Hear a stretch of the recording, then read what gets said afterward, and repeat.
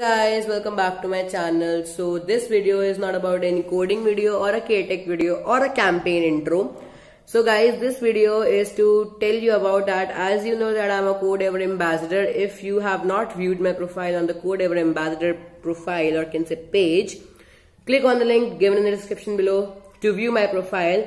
And guys my job is to tell you that the dates have been extended till 5th of Jan 2021 the reason for the date extension is that that the some students their exams were going on so they was not able to play with PictoBlox and make exciting cool projects.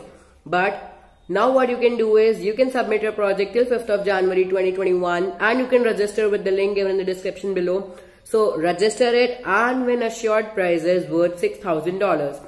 I hope that you got a help from this video. If you did, please like and subscribe my channel. Bye.